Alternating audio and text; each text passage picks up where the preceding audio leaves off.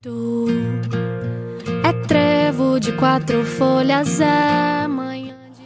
Olá pessoal, Setembro Verde é mês da campanha nacional aí de pessoa com deficiência, tá bom? Se comemora na verdade em setembro, mas todos os meses aí a gente pode trabalhar isso, a inclusão social, o espaço do deficiente na comunidade, na cidade, no seu bairro, a acessibilidade da cidade com tudo isso.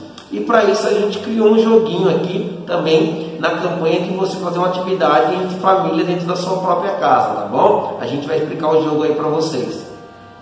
Atividade de hoje, jogo da velha, como eu já disse. O que, que é o jogo da velha, né? Um jogo mais antigo, um jogo de tabuleiro. Ele tem esse desenho, né?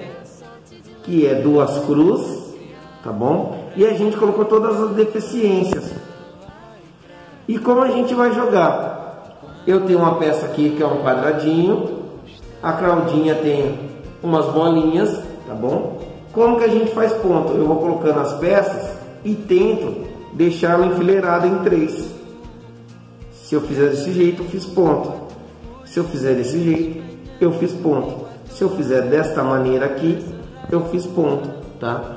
O trabalho da Claudinha é tentar não deixar eu fazer colocar três peças encarrilhadas. E eu também que tentar não deixar ela fazer ponto também, ok? Ficou meio confuso, mas a gente vai jogar para explicar para vocês. Pedra, papel, tesoura. Pedra, papel, tesoura. Ganhei. Eu começo. Escolhi a pecinha quadradinho. A quadradinha vai com a bolinha. Beleza? Comecei. Aqui. Aqui. Eu vou colocando a pecinha, ela vai tentando bloquear, tá vendo? A minha sequência. Se eu não colocar aqui, ó, ela fazeria três aqui. Como ela colocou ali, não dá três aqui, não dá três aqui, nenhum dos dois. Então, quando dá assim, deu velha, tá bom? Ninguém ganhou. Vamos jogar mais uma, Claudinha. Você começa.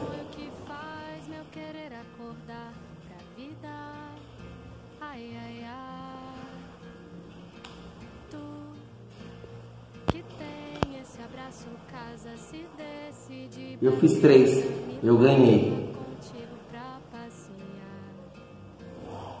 Valeu, gente. Tchau, tchau. Manda a resposta para nós aí, faz atividade em casa, tá bom? Vai ser muito legal. Valeu.